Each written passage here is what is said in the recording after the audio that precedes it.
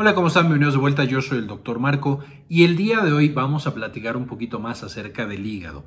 Justo en el video anterior, que os baja en la parte de arriba, hablamos de los medicamentos que pueden causar daño al hígado y toxicidad hepática, tanto aguda como de manera crónica llevar a cirrosis. Y dijimos que una de las principales causas o pacientes en los que debemos ser muy cuidadosos con su hígado son pacientes que tienen hígado graso. Por supuesto, también ya hablamos previamente que hay dos tipos de hígado graso, literal la esteatosis hepática, que es el hígado se va llenando de grasita, que también ya lo vimos en un video pasado con mucho detalle que les dejo en la parte de arriba, pero que después esa misma grasita en algunos pacientes se convierte en mucho más inflamatoria, mucho más tóxica y entonces nos lleva a algo llamado esteatohepatitis, Ahí, como podrán ver, hepatitis, vea que el hígado se inflama, esteatohepatitis no alcohólica. Y esta esteatohepatitis lleva a que literal las células hepáticas se destruyan, se eh, vayan a sustituir por cicatrices y que el paciente progrese a cirrosis. Entonces con esto en el video de hoy quería explorar cuáles son las principales cinco causas que nos van a llevar a desarrollar principalmente hígado graso y después progresar a través de los años a una esteatohepatitis no alcohólica, es decir, a la versión más agresiva, más peligrosa también, que nos puede llevar a una insuficiencia hepática más severa. Entonces, vamos a ver cuáles son estas causas. Probablemente de las principales causas más conocida también es la cantidad de grasa que tenemos en la sangre.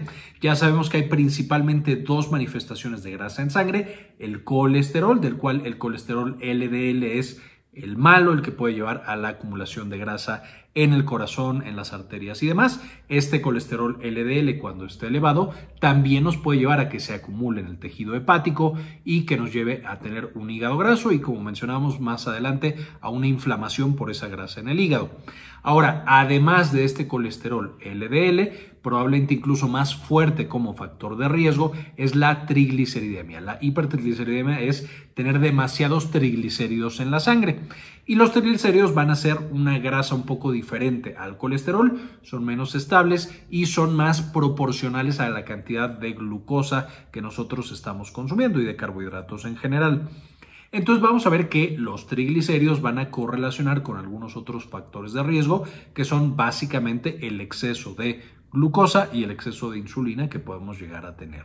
Entonces la primera es el exceso de grasas, colesterol malo, entre comillas, que es el LDL, tener poco colesterol bueno, que es el HDL, y por otro lado, tener eh, demasiados triglicéridos son de las principales causas y por supuesto, si nosotros los tenemos así, este es un dato de que vamos a tener más adelante eh, hígado graso y estatohepatitis no alcohólica.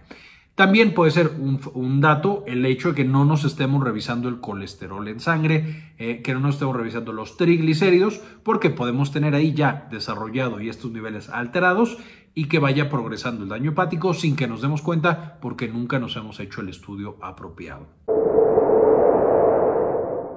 Diabetes mellitus de tipo 2. Y este ya es un factor de riesgo importante para una gran cantidad de enfermedades, pero por supuesto también lo va a ser para enfermedades del hígado y en particular para la esteatosis hepática eh, que es de nuevo el hígado graso, y la esteatohepatitis no alcohólica, que es el hígado graso más severo con componente inflamatorio. Por supuesto, la diabetes mellitus tipo 2 no es el único factor de riesgo, sino que una diabetes mellitus 2 mal controlada es lo que incrementa el riesgo de manera muy importante. Los niveles elevados de glucosa directamente pueden ser tóxicos para el hígado, mientras más elevados, por supuesto, peores y esto nos puede llevar a que tengamos, por supuesto, la acumulación de grasa, que la grasa se convierta en grasa inflamatoria y tóxica y al mismo tiempo que el azúcar o la glucosa, por otro lado, esté dañando nuestras células hepáticas. Entonces, como segundo factor y como segundo dato de que estamos desarrollando un hígado graso, por supuesto, es un paciente con diabetes mellitus tipo 2, pero especialmente cuando la glucosa no está bien controlada. Otras formas de eh, glucosa elevada y de eh, diabetes también nos pueden llevar, por supuesto, a desarrollarlo, aunque si está más controlada o si es de manera más aguda, por ejemplo, diabetes gestacional o diabetes en el embarazo, que también ya hemos hablado en videos anteriores, que les dejo en la parte de arriba. También nos puede llevar de nuevo a daño en el hígado, sin embargo va a ser mucho más limitado si controlamos de manera adecuada esa diabetes durante el embarazo. Obesidad principalmente abdominal, ¿por qué? Porque la grasa que nosotros tenemos rodeando nuestros órganos, principalmente al hígado y a todos los órganos abdominales, esa grasa es especial y va a secretar cierta cantidad y ciertos hormonas muy específicas que otros eh, tipos de grasa que tenemos en el cuerpo no las secretan. Entre ellas, por ejemplo, cosas como la resistina, como el cortisol, con el factor de necrosis tumoral. Entonces, mientras más grasita abdominal tenemos, mayor cantidad de hormonas vamos a estar liberando y estas hormonas van a hacer que la insulina no funcione y que tengamos azúcar elevado en ayuno, que tengamos más adelante diabetes mellitus tipo 2 y que tengamos, por supuesto, directamente toxicidad hacia el hígado.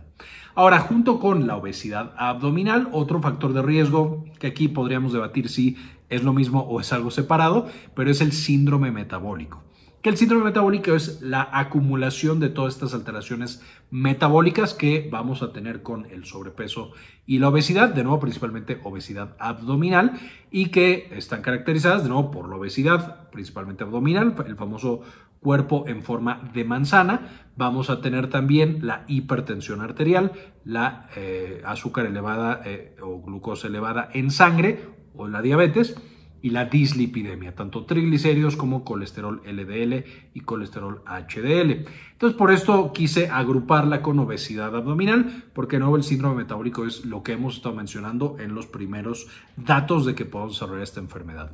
Si tenemos síndrome metabólico, entonces, eh, junto con la obesidad abdominal, tenemos un riesgo mucho más elevado de desarrollar hígado graso y estatohepatitis no alcohólica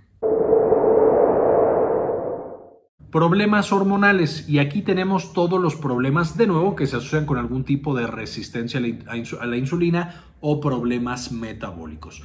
Todo lo que vaya a alterar ese delicado balance de nuestra insulina y de nuestra glucosa nos puede llevar a tener también hígado graso, especialmente cuando son patologías crónicas que no se les da una intervención adecuada. Entre los ejemplos más frecuentes y más eh, comunes vamos a tener el síndrome de ovario poliquístico, en el cual el ovario de las mujeres, a veces incluso jóvenes, más bien frecuentemente jóvenes, van a tener justamente quistes en los ovarios que producen una gran cantidad de hormonas andrógenos, testosterona, dihidroepiandrosterona, etcétera, etcétera. Esa gran cantidad de andrógenos va a llevar a que la insulina no funcione. Además de esto, la propia resistencia a la insulina va a hacer que tengamos más quistes en los ovarios y entonces vuelve una patología complicada que puede atenderse de manera efectiva y eso disminuye nuestro riesgo de hígado graso y estatohepatitis no alcohólica.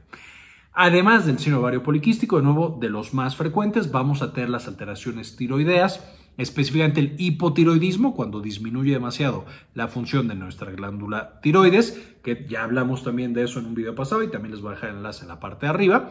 Por supuesto, eso desacelera de manera muy importante el metabolismo y nos va a llevar también a una ganancia de peso, especialmente de grasa abdominal y también alteraciones metabólicas. Podemos presentar resistencia a la insulina y aparte menor eh, energía, entonces menor actividad física y de nuevo se convierte en un ciclo eh, vicioso que nos puede llevar al empeoramiento de esta patología.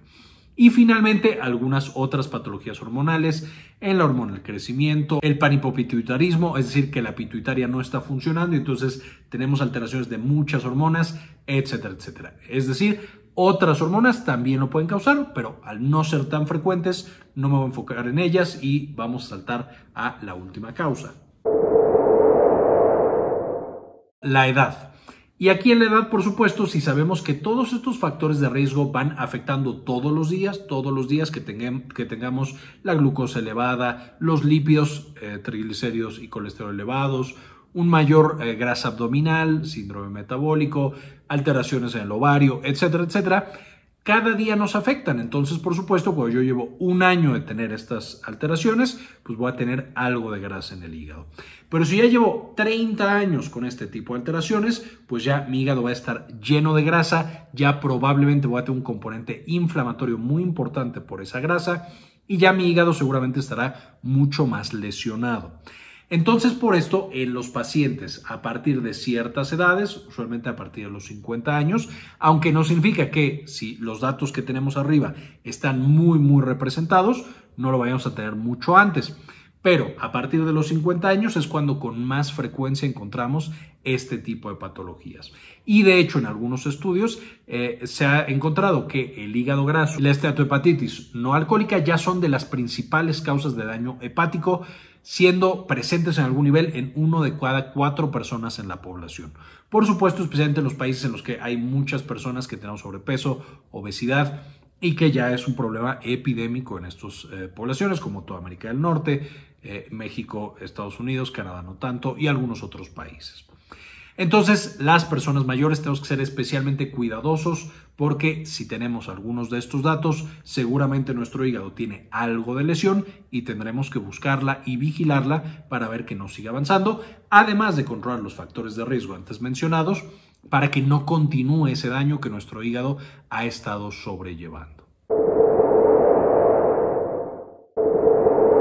Básicamente esta era la información que quería presentarles. Quiero agradecerles por ver hasta este video, pero antes de irme quisiera agradecer en particular a las personas que han deseado apoyar al canal con una donación mensual de 1 o de 2 dólares al mes. Y en particular dedicarles este video a Rosaura Murillo Gómez, Carlos Luis, Antonio Guizar, Matías Hernández, Malena Carrascosa, Farmacias Asociadas de Ecuador, Givón Gron, Moni Lagos Leigh, Luis Ernesto Peraza, Luis Fernando Zacarías, Georgina Juan Rodríguez, Cindy Magaña Bobadilla, Alejandro Pardo, eh, Doctor Mineralín, Pablo Antonio, Gilberto Argueta, Héctor Lepe Sáenz, Doctora Milis, Javier Mejía, Sandy Oliva, Jorge C. Y Doctora Susana Vidal. Muchísimas gracias por todo el apoyo eh, y por permitirnos hacer este, este, tipo de investigaciones y compartirlas con todos los demás. Con esto ahora sí terminamos y como siempre, ayúdenos a cambiar el mundo, compartan la información. Quería comentarles también que ya tenemos activada nuestra clínica en línea, Clínica Cares. Eh, nos pueden encontrar en clinicacares.com.mx para agendar alguna consulta. Principalmente atendemos los temas de salud de la mujer y también, por supuesto, consulta general. Si tienen alguna duda, alguna consulta, aquí en clinicacares.com.mx nos pueden encontrar.